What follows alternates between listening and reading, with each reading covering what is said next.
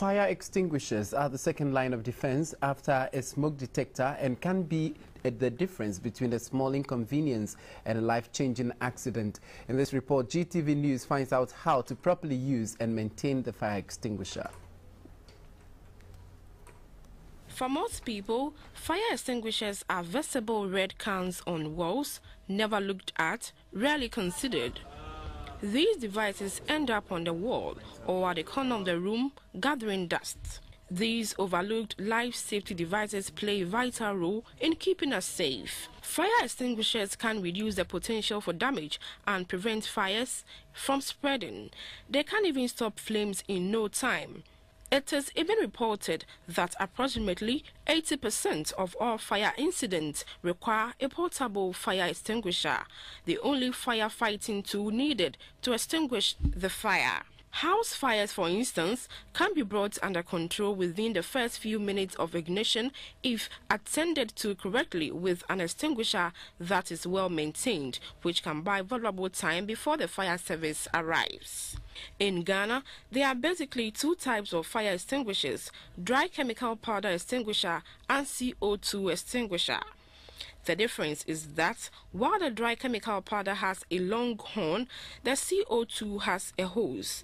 Experts say the type of fire extinguisher that should be used depends on what's burning. Using the wrong type can actually make it spread.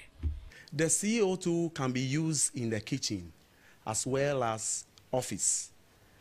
But with the dry chemical powder extinguisher, you can use it in an office, in a garage, and any other place, but you can't use that one in a kitchen because when the powder drops on food, it will render it useless. You can't eat the food anymore. And with the CO2 one too, it is only powerful or effective in indoors than outdoors because of the wind. But what is the appropriate way to use a fire extinguisher on the spur of the moment? Assistant Divisional Officer Grade 2, Edward Tete demonstrates. You remove this pin, you be pressing this thing here, and then you shoot the CO2 gas into the burning surface. It will cut the flow of oxygen to the fire, and then it will quench the fire smoothly. You don't touch the horn you touch this place. Because when it is blowing out, this thing will be very cold and you can't hold it. Fire extinguishers expire, so the Ghana National Fire Service recommends having fire extinguishers charged and serviced every six months. When it is due for servicing, it will be taken to workshop and then the powder will be tested or the gas in it will be tested.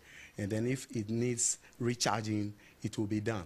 When the expiry day comes to and you are not charging it, when there is any problem and you lay your hand on it, it can fail you. Well, the general rule of thumb to remember is pass.